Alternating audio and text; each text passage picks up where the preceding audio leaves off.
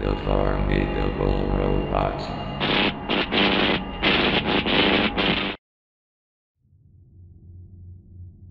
If you were using the internet around 2004, you're probably familiar with an infamous website known as picnicday.com and the urban legend of its hijacking. Here's context for those who have no idea what I just said. PicnicDay.com was a website whose primary purpose was to provide users with all the necessary tools and information to enjoy a delightful outdoor picnic experience. The site was created in late 1998, originally being a shopping site. The homepage featured a bright and inviting design, with pastel colors and playful illustrations of picnic scenes. It had the typical early 2000s design, with simple graphics and easy navigation. The website was divided into several sections, each offering different resources for planning the ideal picnic.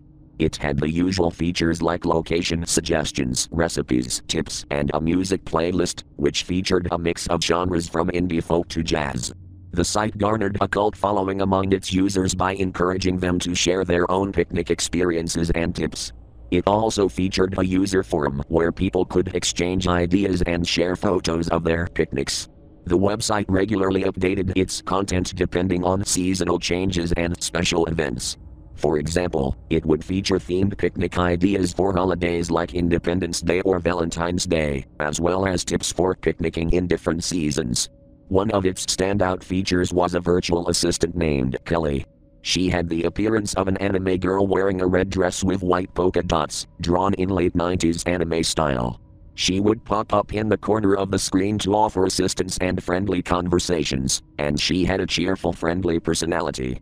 Everything was going smoothly, with the community having mostly well respected and friendly members who were just having a relaxing time. But as always, with every single fandom, there would always be someone who would take advantage of this naive calming space, or in this case, group of people. On September 21, 2004, a team of hackers hijacked the PicnicDay.com website and possibly executed one of the most catastrophic website hijackings in history. According to a select few, if you entered the website during this time, you would be greeted with pop up ads floating all across the screen. The homepage was completely black. When you try to interact with the website, nothing happened. After a few seconds, the Kelly virtual assistant would appear. However, her appearance had changed. She still wore the same red dress, but she was completely faceless. Instead of her usual cheerful greeting, she would immediately start asking personal questions about you and your surroundings in a threatening manner. The questions would start normally at first but would become more unnerving and creepy as she progressed. Here are a few of the things she asked, in the words of those who witnessed it. Have you ever felt completely alone, even in a crowded room? Do you ever feel like someone is following you, even when you're alone? Do you think anyone would believe you if you disappeared? How do you think it feels to take a life? How often do you check your locks before going to bed? If you attempt to close the site, she would become very aggressive. She would download and run extremely destructive viruses on your computer without your permission.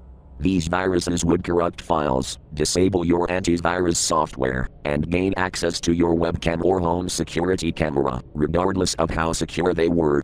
Kelly's faceless avatar would then open a new window, displaying a live feed from your camera on your screen, her blank face still staring at you. Within moments, the website would display your home address and crash your computer. When you rebooted your PC, it would display the Windows could not start because the following system file is missing or corrupted error. The only way to fix this was to completely reinstall Windows, if you were lucky enough not to be reported missing. Some of those who experienced this terrifying encounter were never seen again. Reports began to surface of individuals either disappearing without a trace or committing suicide shortly after the encounter. For approximately 48 hours, the website remained in this state. During this time, numerous users reported the strange occurrences of the website to MySpace and 4chan, although most of the posts were deleted and aren't archived. Luckily, a few posts managed to be saved, either by screenshots or by the Wayback Machine. However, none of them are fully archived, meaning that those versions only feature a few snippets from the posts. Here's one of them. I thought it was just an elaborate prank. People love to scare each other on the internet, right? But when I clicked on the site, everything went dark, and there was Kelly, or what was left of her. She started asking me these horrible questions. I tried to close the browser, but it wouldn't let me. Then she started listing things from my private life. Details only someone close to me would know. When she accessed my webcam, I freaked out and yanked the plug on my computer. I haven't slept properly since. Authorities and cybersecurity experts scrambled to shut down the site and identify the culprits behind the attack. Unfortunately, the attackers were never caught or identified, leaving the case cold. Fortunately, the website was taken down, although the damage was already done.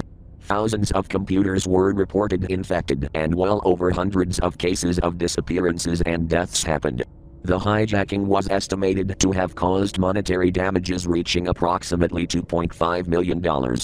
This figure includes the cost of the following crimes destruction of data and hardware, identity theft and fraud, security enhancements, lost productivity, legal and investigative costs, psychological impact, and therapy.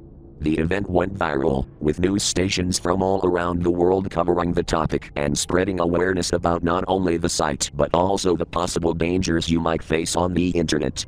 Despite its popularity and wide coverage, there's no surviving concrete proof of the hijacking happening anywhere, leaving the whole incident an urban legend and later forgotten. The URL to the website has been blacklisted by the Wayback Machine, likely due to the damages the site caused on that fateful day. When you try to Google either the URL or any surviving proof of this attack, nothing pops up, as if the whole thing never happened. It's like the internet doesn't want you to know anything about it. The only information that we have are archived CNN news articles and a single photo of the website before the incident, which is where we got most of the information from. If you have any screenshots, videos, audios, articles, or blog posts related to the incident, share them through our email. I will make sure to update the post with new information as soon as possible.